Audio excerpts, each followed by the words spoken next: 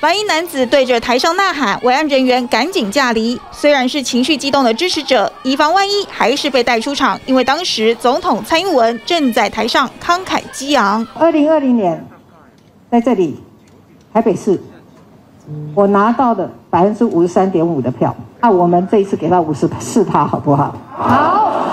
天内五度合体陈时中，蔡总统极力催票。之前还笑说，相中陈时中的国际事务局要当自己的新工作。虽然他对那个国际关系、什么国际局的那个局长的，还蛮挑剔的哦，那个标准还蛮高的，应该有很多合适的人。我第一时间讲，哎，我我若无投我我愿意来做啦吼。总统讲伊嘛要做安尼吼。啊，这个局长长的有人来应征啦，但是。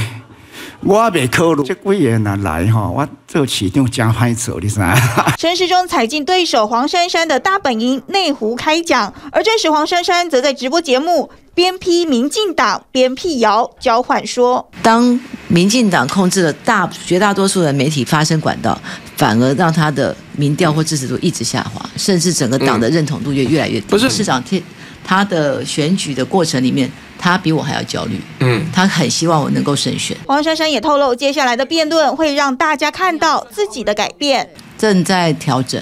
嗯，因为你还是结辩，就是你讲的嘛，我觉得不够情绪。不够煽情，是啊，不够情绪化，不够催票。黄珊珊要抛开理性形象，注入更多张力。陈时中则靠总统加持，辩论前先校正，谁都不愿屈居下风。TVBS 新闻吴延许峰于礼品 SN 小组台北报道。掌握全球情势、国际新闻，全新选择 YT 频道 TVBS 国际 Plus，扩大视野。欢迎订阅并开启小铃铛。